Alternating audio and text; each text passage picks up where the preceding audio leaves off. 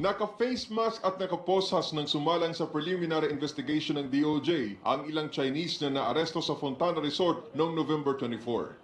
Naharap sila sa reklamong illegal gambling at paglabag sa anti-cybercrime law. Apat na putatlong Chinese na pawang nahuli sa Villa 736 ng Fontana ang kinasuhan ng DOJ Cybercrime Division pero 39 lang ang dumalo sa pagdinig. Hindi pa raw malaman ang kinaroroonan ng apat na pawang mga minor de edad na posibleng nakatakas na raw.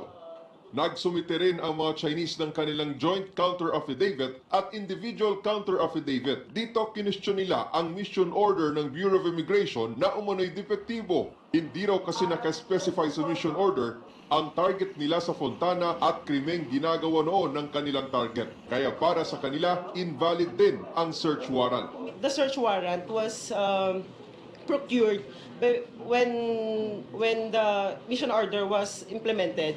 Uh, if we invalidate the mission order, the raiding team has no, uh, yeah, they have no right to be in that place on Jan- November 24, 2016, when the raid happened. So by invalidating the mission order, the search warrant, the search warrant will be also invalidated. Gate pa nila ang iba sa mga Chinese ay nadamay lamang o bisita sa villa. Turista lang din daw ang iba, habang ang iba raw ay biktima ng illegal recruitment sa China. they were just promised jobs in, in sort of a call center. So, and then uh, when they arrived, they didn't know that it was an online gambling. Plano raw ng mga Chinese na maghain ng voluntary deportation pabalik ng China. Pero hindi raw sila madedeport dahil sa nakabinbing reklamong kriminal. Tinatanong ko yung complainant kung bakit final pa nila yung criminal case. There is already a deportation charge ano, before the Bureau of Immigration. Uh, so parang they are, these are two inconsistent uh, actions. Eh. The objectives are inconsistent. Hinamon din ang kampo ng mga Chinese ang Cybercrime Division ng DOJ na magsagawa ng operasyon laban sa mga kumpanya imbes na sa mga manggagawa. conduct more extensive or intensive operations to go after that corporation because basically the lack of a permit is an act of the officers of the corporation and not of these employees who have nothing, who have no knowledge Sagot naman ng DOJ Cybercrime Division, magkakaiba ang deportation case at ang criminal case ng mga Chinese. Nahuli raw sa akto ang mga Chinese na gumagawa ng krimen, kaya tama lamang nakasuhan din sila. they were caught uh, in flagrante delicto operating uh, gambling operations, conducting gambling operations. So in, in a residential uh, area in Fontana. Uh, when we asked for their permits to operate uh, these gambling operations, uh, they were not able to produce any. Submitted for resolution ang reklamo laban sa mga Chinese. On Labor, Employment and Human Resources Development ang pagkakahuli sa mga Chinese national na illegal umanong nakapagtrabaho sa isang kasino sa Clark, Pampanga. Ayon kay Committee Chairman Senator Joel Villanueva, malinaw na may pagkukulang ang ilang ahensya ng pamahalaan kaugnay ng pagbibigay ng working permits sa foreign nationals na pumapasok sa bansa. Hindi lamang yung pagbibigay ng working permit o pagmamonitor ng mga foreign workers, eh, how much more nga yung illegal workers, yung pagmamonitor din noong ah, pagbibigay ng visa at permit. Ilan sa ahensyang kasama sa pagdinig na isinagawa kahapon kaugnay sa issue ang iba't ibang regional offices ng DOLE at Bureau of Immigration na tumalakay sa pagbibigay ng permiso at visa sa isang foreign worker sa bansa. In the first place, bakit nakapasok, di ba? 91, undocumented, walang passport, walang kahit na ano.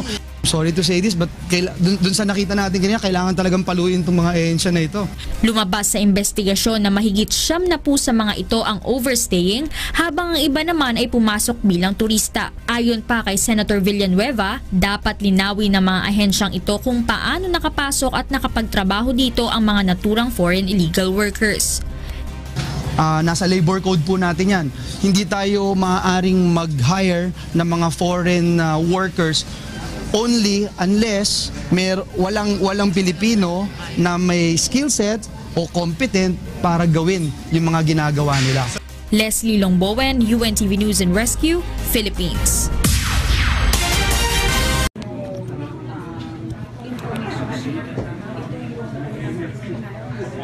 nandito ngayon sa DOJ yung mga immigration deputy commissioners o associate commissioners na iniimbestigahan ngayon ng NBI dahil sa umano'y pagtanggap ng ah, um, ah, ah, pera mula sa gaming tycoon na si Jack Lam. Dala nila yung 30 million pesos na na pera o ito itong nakita nyo, no? bulto-bultong pera na di umano'y binigay sa kanila ni Jack Lam at ito turn over nila ngayon dito kay Justice Secretary Vitaliano Aguirre at ah, after nitong uh, pag-turnover ay magkakaroon ng press conference kasama sa Secretary Vitaliano Aguirre. Kung matatandaan nyo kahapon ay ah, nag-file na ng leave of absence itong sina ah, Deputy Commissioners um, Michael Robles, yung nakaputi si Robles at si Deputy Commissioner Al Argosino.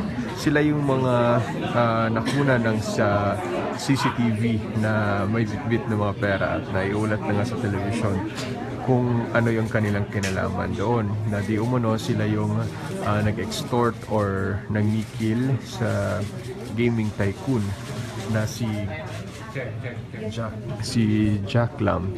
At ah, ngayon nga ay iniimbestigahan sila ngayon ng NBI at ah, um, sa ngayon habang pending yung investigation ay nag-leave muna sila sa kanilang trabaho para hindi raw ma-influensya at bigyan nga raw ng free hand ang DOJ at ang NBI sa kanilang investigasyon. At nauna na nga rin sinabi ni Secretary Aguirre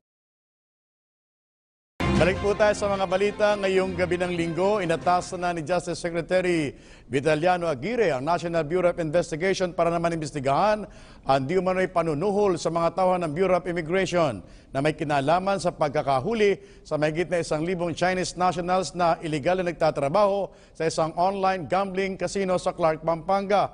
Nais umanong malaman ni Aguirre ang katotohanan sa mga lumalabas na balita. Git pa ng kalihim, wala siyang sasantuhin na tiwaling empleyado ng DOJ. Tiniyak din itong papanagutin nila ang mga mapapatunayang sangkot sa manoy payoff dahil naman wala umanong kalalagyan sa DOJ, lalo na sa pamahalaan ang mga sangkot sa katiwalian.